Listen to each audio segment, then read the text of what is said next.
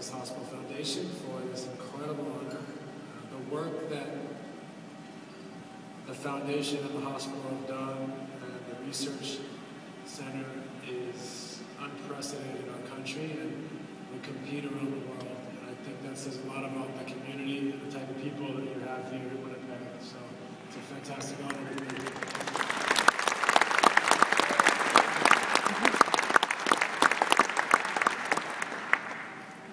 I had a fantastic day. I've been in been in Minnesota, we say a lot of times, Lansing Wolves, and I see so many fans come down from Winnipeg. It always made me feel, you know, at home when I go to Minnesota, which is the strangest thing. But uh, again, it's, said something about the community here, the people. Every time I met somebody in Minnesota from Winnipeg, uh, you know, it made me feel really proud to be Canadian. It made me feel a connection with this community.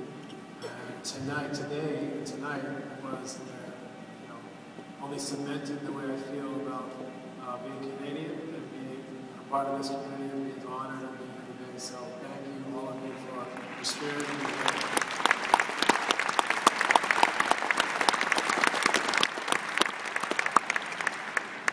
a fantastic day.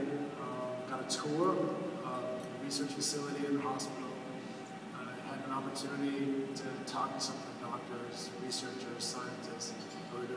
this incredible work that we're all here to benefit. And, um, what an opportunity to be able to ask them questions point blank, to be able to get um, you know, answers from leading scientists and doctors in their field was uh, an opportunity that I'll never forget. And, you know, hopefully I'll get a chance to further my education. Uh, you know, I've said many times before uh, my life's over because it was a very special